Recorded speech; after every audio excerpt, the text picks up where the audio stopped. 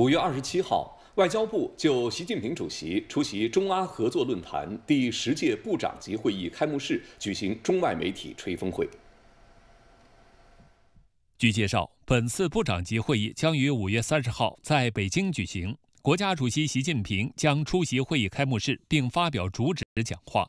会议将重点就落实领导人共识、拓展中阿各领域合作、加快推进中阿命运共同体建设进行深入探讨，研究具体举措。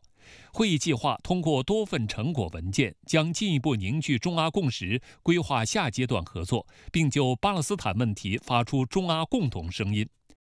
五月二十九号至三十一号，习近平主席将分别为来华访问并出席会议开幕式的巴林国王哈马德、埃及总统塞西、突尼斯总统赛义德、阿联酋总统穆罕默德举行国事活动，就双边关系及共同关心的地区和国际问题深入交换意见。中阿合作论坛成立二十年来，中阿关系实现跨越式发展。习近平主席两次出席论坛部长会开幕式，四次面向阿拉伯世界进行重要政策宣示，引领中阿战略互信不断深化，共建“一带一路”成果惠及双方人民。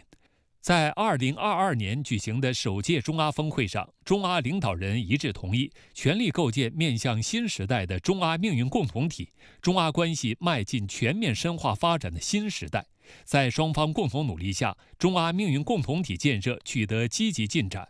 中国和阿拉伯国家都是发展中国家重要成员，同为国际社会重要力量，肩负着实现民族振兴、加快国家建设的共同历史使命。